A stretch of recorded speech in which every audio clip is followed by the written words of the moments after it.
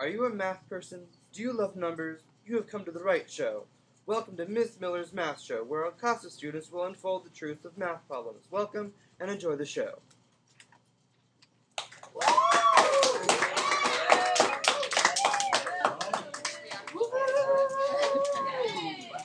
There you are. There's Crystal. Yay. Hey, Crystal.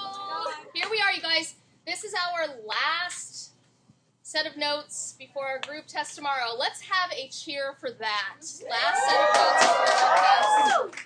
Okay, so we today are doing composition of functions. What's with the music notes? That's what I am about to go into. What's with the music notes?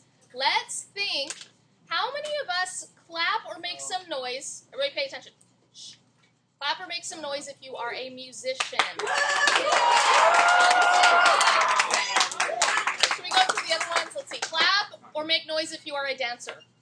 Okay, clap or make noise if you are a visual artist. Okay, and clap or make noise if you are um, in Oh yeah. Filmmaking. well, that's music still. If you're undecided, if you're undecided, I was about to go there. Uh, okay, clap or make noise if you are an actor or actress. Okay. Is part of music, so Wait, you know. do we want to do music again now that you all know that singing is part of music? Yeah. Yeah. Okay, so clap or make noise if you are a musician. So the entire class is musicians. All right, so here we go. Let's think about music for a second. How many people clap or make noise if you have heard the word composition in the uh, context of music? Okay, so can somebody give me a rundown in music of what a composition is? What do we think? Tyler? When you write them, when you write a piece of music. Okay, when you write a piece of music, good. Anyone else have another another description of a composition? Okay. Um, so let's just take the idea that Tyler had and kind of expound upon it. If it's a piece of music that's been written down, is it safe to say that you have a bunch of notes that are all put together to make a one giant song? You have to actually put it in a certain Organized. order to make it actually The sound good. organized. What's that? It has to be organized. Okay, has to be organized. Jiro. John Cage's three minutes forty-four seconds has no music at all, but it's still considered music. It's like Huh? silence for three minutes forty-four seconds. Oh. It's still technically a composition. Okay, good, good. Can you say that louder so the camera can pick it up? a composition is pretty much just like music that is one thing. Music that is one thing, folks. Music that is one That's thing. Okay, all right, yay, Jiro. Okay, so um, all right. Composition. That's a combination of notes, a combination of um, vocals, a combination of things to make one giant thing. Okay, so in the context of music, it's a combination of notes, a combination of instruments, combination of vocals to make one big song. Composition of functions, what do we think that is? Combined function. That's good. Give it up for Tyler. Combination of functions. Combinate. We're all tired. We had a fire drill last period, and everybody's wiped out now. We had to walk out to the field or blacktop, I nearly fell out of my seat. and some of us nearly fell down. So it's been an interesting morning. Okay. So here we go. What we're doing here, combination of functions, we are literally combining multiple functions together, okay? So if we have two functions, functions f of x and g of x, one composition, the way that it looks is f of g of x. So that's f parentheses g parentheses x, and then double parentheses. And another composition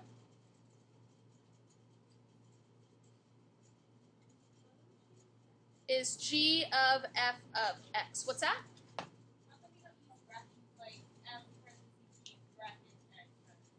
Okay, because you're just um you don't have square brackets in any of these. You're literally just combining them together into one equation, so you don't need to change anything with it. The question was why do we not have square brackets or something? It's just because you're combining them into one equation and not um, something other than that.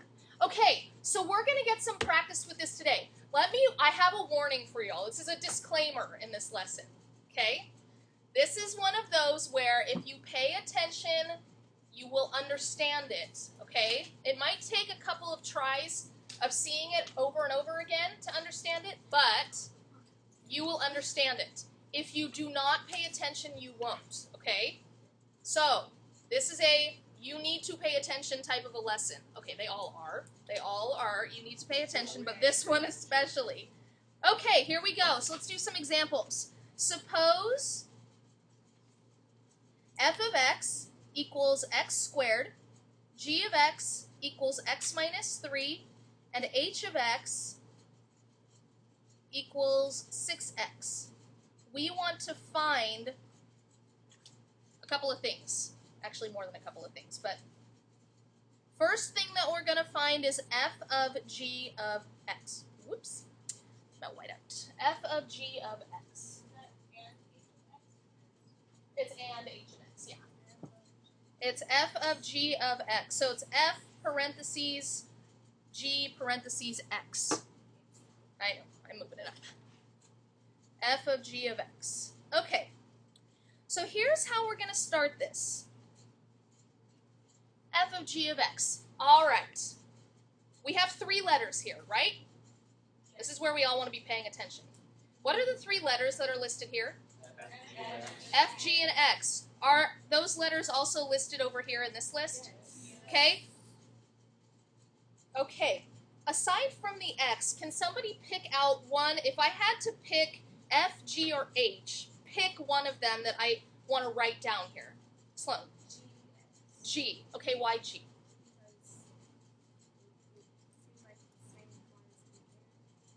Good. Okay, so there's a G here. Clap if you agree with Sloan. There's a G here, so we're going to write down G of x equals x minus 2. Clap if you agree with Sloan. Good. Okay, is there another letter here as far as equations that matches over on the left-hand side? Thane? f of x. What is f of x equal to, Thane? Uh, x squared. x squared. Okay, clap if you agree with Thane. Cool. Now, this is the everybody, once you are done writing that down, drop your pens or pencils and focus. Because this is where it gets really easy, but only if you're paying attention. Okay? So, how many people, when looking at this, see this set of parentheses and that G is inside of the F parentheses? Clap if that makes sense to you what I just said, that G is inside of the F parentheses. Okay, so what we are doing is we're going down here and we're looking at the G equation and we're taking what's on the other side of the G equation and replacing, not multiplying, not adding, not dividing, we are replacing all of the variables in the F equation with whatever the G equation is. So how does that look? Let me say that a couple more times. So because the G, you all just told me, you agreed that G is inside of F here, so we're taking G down here and putting it inside of or replacing any variable with it down here. So the way that it should look is, again, we're just taking this x and replacing it with x minus 3, and then you put that squared there too. Okay? And that's it. The end. Finito. Oh, we have an applause for that. Okay. By a couple people. Okay. Questions. Let's do a couple more of these. Okay, Sloan, go ahead. When you put the x, um, okay, so you replace it with x minus three, but then you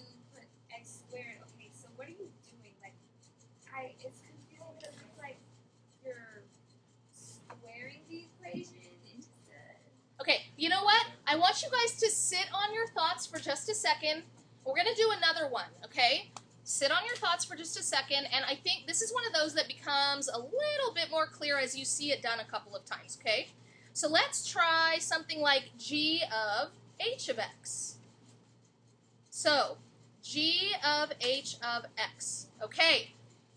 Somebody give me one of the equations I want to write down up here. Thane. Uh, hx equals 6x. Good. Clap if you agree with Thane. Or make noise. Okay.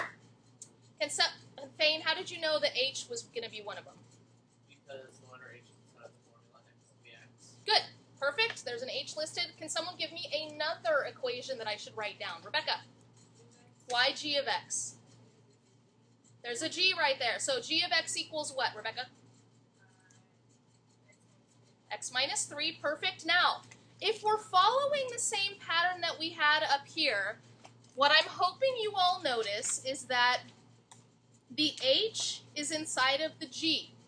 So, we're going to do something with this h relative to the g equation. Alyssa? Okay, can someone tell me what they think we're going to end up doing here? Alyssa?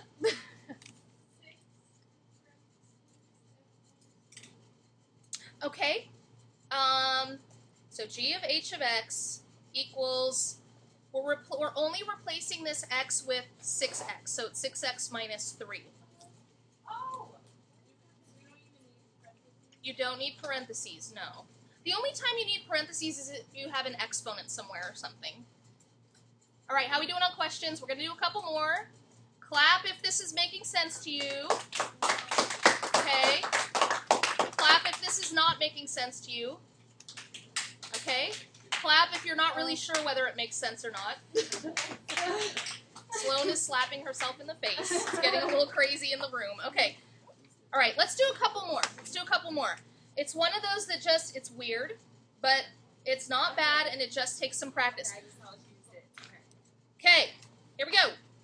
How about if, let's turn it around. And instead of finding g of h of x, let's find h of g of x because there is a difference. g of x. h of g of x. Okay, so can somebody list what equation or equations I should be writing down in this one? Whoops. Um, Aiden. Okay. Equals what? 6x. Okay, and you want to do the other one? What's the other one? Perfect. Okay, now in this one, which one am I plugging into which equation? In other words, which one is in the innermost parentheses here? That's the one that gets X minus good. Okay, so Sloan, x minus 3 goes where? In here? Sure. Okay. Yeah. No. No. Thank you. Okay, how many people agree that G is inside of H? Yeah. Okay, so we take the G, look at the G equation and take it and put it inside of any variable in the H equation. Okay, six X minus. So we get H of G of X equals 6 times, now is where we have to do parentheses because we're multiplying. Okay? Whereas the other one, let's look back at the other one. Yes, I did. I do. Okay, shh, let's do some questions. Aiden? So basically, if they both have an X in them, in your answer, there will always, always only be one X. Uh, like, like, there might be more out here somewhere, but yeah, there should be an x in there, right? Okay, if you want to distribute this to get 6x minus 18, you can do that as well. Okay, how are we doing on questions? Cole, which numbers? They're, okay, so they start out in the original equations. oh, we're still going based off of that? Yes. Okay? Yeah, Sloan. Okay, so in the first equation, we were taking six X and putting it to X minus three. So that's why I made six X minus three. Because we're placing X into, then it was Exactly. Well, then well, how come we didn't do x minus 3 for 6 Right here. All you're do- you're just replacing the variable with what the other equation is. It's already an x, so you're just replacing it with 6x. Okay, everybody stop talking. Everybody stop talking. All right. Okay. So you're just replacing whatever the variable is in the outer equation with whatever the inner equation is. Okay? So you replace, in this one, you replace the x in the h equation with all of the g stuff. Whereas this one, you replace the x in the g equation with all of the h stuff. Alyssa? You can. Yeah, you're right. In the end, you simplify. Cole, what's up? Yes. Whichever one is in the inside, the innermost parentheses, that's the one that gets put into the outside one. So the g in here is inside of the h, so you take the g equation and put it into the h equation. Desi? Yes. Um, no, no. You do you want to if there are numbers involved, which we're about to get to. But yeah. Other questions? Okay, here we go. Now, what if we have something like f of g of 2? Okay, well, hold on. These are actually just as easy as what we just did. There's one last step, but that's it. Okay, so let's just, let me put my equations up here so we know what we're referencing. Okay. F of g of 2. So, can somebody tell me which two equations I want to write down here? Sloan, go ahead. x equals, what did it say? Six x squared. Good. Alright. And then e x equals x minus Perfect. Everybody make some noise for Sloan. All right. Now, if the g is inside of the f, that means we're taking which equation and plugging it into the other one. G is inside G into F up here. G into F. G is in F here, so you put G and F down here. So we end up getting F of G of 2 equals, if I'm all I'm doing is replacing this X with X minus 3, it becomes X minus 3 squared. What? What two? Ah, that's where that's the last step. So, like you all are noticing, we have we don't have an x in here anymore. We have a two. So what do we think we're going to do with that two over on the right hand side? The two is To put the two in for x. All right, nicely done. So it's two minus three squared. And what is everybody? What's two minus three? Negative one. What's negative one squared? One. So f of g of two is one. All right, how are we doing on questions? Okay, I'm going to put up two more of these and ask for some contestants. So let me put them up first, and then you guys can decide if you want to come up and show how to do it. All right? Talking about math. Yes, we are. Okay, let's see. The fifth one. Let's do, how about h of g of 4? h of g of 4. And the one after that, let's do f of f of, yes, there are two f's there. f of f of, um, let's do negative 2. f of f of negative 2. All right, everybody send us off to break. We will be back with our contestants. First contestant, everybody give it up for Sloan.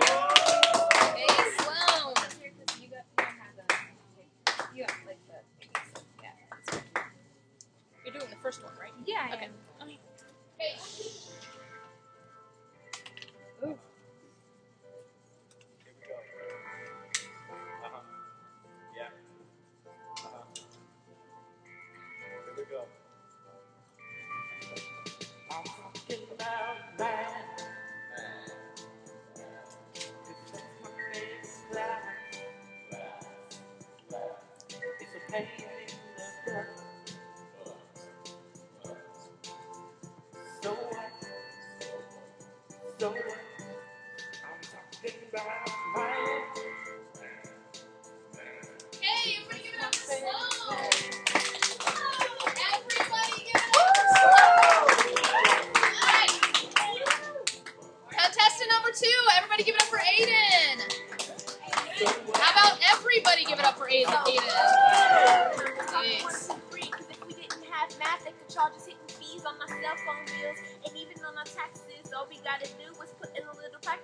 practice from the to the teachers, and even the physicians, the doctors and the lawyers, and even the musicians counting down. Like one, two, three, four. We can hear it on the beat and even read it on the score. Some say a waste of time. What are they doing it for? So they ain't no end up again. in The sweeping up the floor. Shout out to Miss Miller and even Mr. B, Miss Barnett, and Mr. Humphreys from Algebra 2 to trigonometry. If it wasn't for math, then where would we be? Yeah. Shout out to Miss Miller and uh-huh. even Mr. B, uh-huh. Miss Barnett, and Mr. Humphreys. Hi.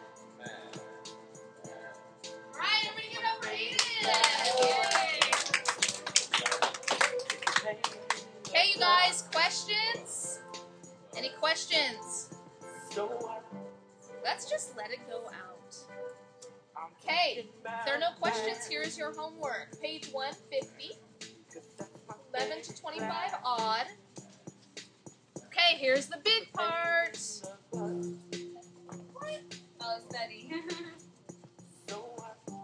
You have a group test tomorrow. Study, study, study. All right, you guys, everybody send us off. Woo!